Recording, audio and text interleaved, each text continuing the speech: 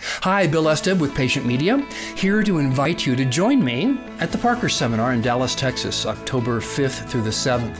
I've been invited to share a rare two hour excerpt of my popular Disruptive Patient Communications program. This is some of my favorite material gleaned from almost what, four decades of thinking and writing and speaking and consulting with chiropractors and, and conducting patient focus groups. This is a crash course in how to better understand today's new patients, how to lead them, how to inspire them, how to attract them, how to care for them without caring too much.